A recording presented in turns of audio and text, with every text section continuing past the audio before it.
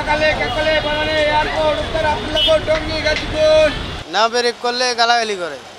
আবার ব্রেক করলেও সার্জনের সমস্যা করে। মানুষ তো সব একরকম না বুঝছেন? এজন্য গাড়িতে উঠলে কিন্তু সবাই যাত্রী। মাঝে মাঝে তারা আমাদের যে হাফ পাশের ব্যাপারটা ওটা নিয়ে একটু বাড়াবাড়ি করে। অ্যাকচুয়ালি যদি ই টিকিটটা যেটা হবে সেটা হলো আপনার যাত্রীদের সাথে বাসের কন্ট্রাক্টরদের যে ভাড়া নিয়ে যে কন্ট্রাডিকশনটা হয় মাঝে মধ্যে এটা হবে না। কিন্তু এখানে ই টিকিট কতটা প্রতিষ্ঠানে বা কতটা সার্ভিসে করছে সেটাই দেখার বিষয়। যদি দেখা যায় সবগুলো যে কটা ট্রান্সপোর্ট আছে আমাদের এদিক যে কটা কোম্পানি আছে, সবাই যদি একযোগে এই টিকিটটা করে, তাহলে আমি মনে করি যে হয়তো যাত্রীদের সুবিধা হবে। নির্দিষ্ট গন্তব্যে যায় যদি থামে, এক্ষেত্রে আমাদের কিন্তু যানজটটা হবে না। যেখানে সেখানে গাড়ি দেখা যায়, যাত্রী নামবে, আপনি স্টেশন ছাড়াই বলে দিচ্ছে যে আমি এখানে নামবো। তো এই টিকিটের ক্ষেত্রে সম্ভবত সেটা থাকবে না। ই টিকিটের মাধ্যমে একটা পার্টিকুলার প্লেস থেকে আমরা টিকিটটা কালেক্ট করছি দেন আমরা বাসে উঠতেছি উঠে তারপর আমরা টিকিটটা নিচ্ছি।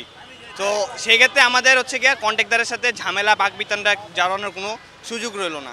সো এই কারণে আমি মনে করি যে এটা একটা বেটার অপশন গাড়ি কোথাও থামছে না লেট হচ্ছে না তাড়াতাড়ি যাওয়ার একটা সুবিধা পাচ্ছে। আমাদেরটা তো সিটি কর্পোরেশন নির্ধারণ করে দিছে ভাড়া। স্টুডেন্ট ভাড়া আলাদা কাটি নর্মাল ভাড়া আলাদা কাটি ভাবে আলাদাভাবে কোনো বিশেষ কোনো সুবিধা পাই না। ওই সচরাচর সাধারণ মানুষ যেরকম যায় আমরা সেরকমই যাই। কিন্তু তারপরও মাঝে মাঝে তারা আমাদের যে হাফ পাশের ব্যাপারটা, ওটা নিয়ে একটু বাড়াবাড়ি করে। তো এই কারণে তো আমরা অনেকবার রাস্তায় নামছি স্টুডেন্টরা, আপনারা দেখছেন। চলমান গাড়িতে ওরা গাড়ির গেট খোলা রাখে। তখন যাত্রীরা লাফায় লাফায় ওঠে। তো ওই ক্ষেত্রে ই টিকিটের ওরকম সুবিধা পাওয়া যায় না আর কি। ওরা ইচ্ছা মতো যাত্রী উঠায়, আবার ইচ্ছা মতো যাত্রী নামায়। তো যারা টিকিট কেটে উঠে তো উঠবে। আবার স্টেশনে গেলে দেখা যায় যারা টিকিট না কেটে উঠছে তারাই বসে আছে। কিন্তু যারা টিকিট কেটে উঠছে তারা বসতে পারতেছে না। রাস্তাঘাটে কাউ কাউ চিল্লাচিল্লি এটা হবে না। প্যাসেঞ্জারও কোনো ঝামেলা মুক্ত যাত্রীর সাথে, ড্রাইভারের সাথে কোনো চিল্লাচিল্লি হবে না। স্টাফের সাথে হবে না। মানুষ তো সব একরকম না, বুঝছেন? এজন্য গাড়িতে উঠলে কিন্তু সবাই যাত্রী। যাত্রী সব সময় একরকম মুভমেন্ট থাকে না। অনেক সময় দেখা গেছে, আমরা তো বাঙালি শোনা কথায় বেশি চলি। আর একজনে হয়তো বা বলে দিছে, এখানে ভাড়া তোর পনেরো টাকা। এখন ওই জায়গার ভাড়া হলো পঁচিশ টাকা বা বিশ টাকা। ওর ওই জায়গায় ভাড়া আমি পঁচিশ টাকা চাইছি, দেখা গেছে আমার সাথে খারাপ ব্যবহার করতে পারে।